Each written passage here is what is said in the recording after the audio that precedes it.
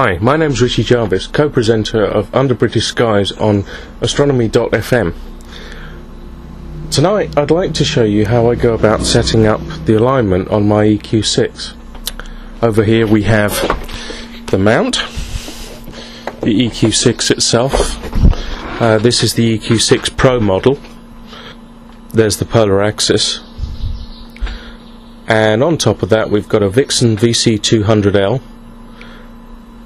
and a focal reducer for that and a Starlight Express SXV RH18. First thing I would like to do is show you how to connect up the mount. So I'm in Cartes du Ciel. I click Control Panel. I click Connect. And it brings up the EQ Mod software. I can then hide that window and I just have my star chart and control, my handbox. If I open this up and make sure that the correct location is set,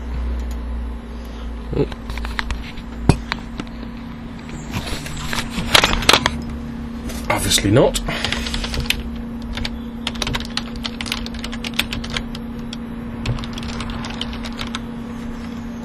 So it does have the correct location for me though. 75 meters elevation. No, that's not right. It's 25. And I set that. Um, now, I've already set up the polar alignment, uh, but you would use this tool here to set up the polar alignment. So here is the current position of the pole star for this Polaris hour angle, which is also given here. So that's where Polaris would be if I look through the polar scope on the telescope but that's already done. So first thing I'm going to do is I'm going to make sure that I clear out the sync data and any alignment data. So the mount is now completely has no memory of where it's been before. Um, I can just double check that by pulling up a list of all the points and as you can see they're empty. Next thing to do is if I close that down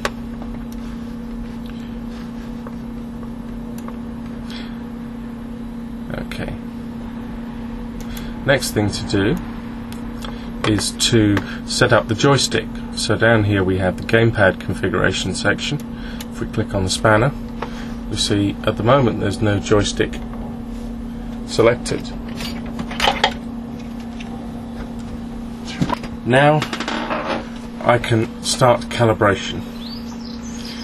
So if I click start calibration, it gives me minimum maximum values. As I push each axis, you'll see the numbers change so as I move each joystick around um, you'll see them all change. Um, basically that means the joystick is now calibrated. You can see I've got no key set up at the moment either. So the one I normally set or the two that I normally set is uh, increment preset. And decrement preset I can't seem to select them at the moment. So let's try that again. Ah, there we go. Increment preset, which I will set to button 5, and remove button 5 from there, and decrement preset, which I will set to button 6. Remove that one there.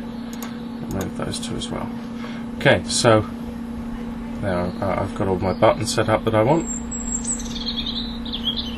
and then I can say apply changes and it will save my joystick configuration.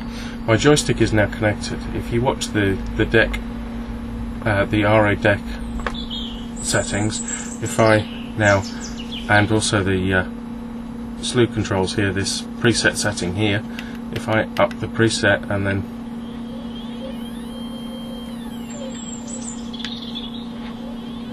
move the telescope around you can see that it is moving away from the pole, from the North Celestial Pole, and that is me controlling it with the joystick. So, having hooked up the joystick, I'm now ready to actually find a star. Unfortunately, right at this particular moment in time, the cloud's are not behaving, so um, I will hopefully get back to you later this evening.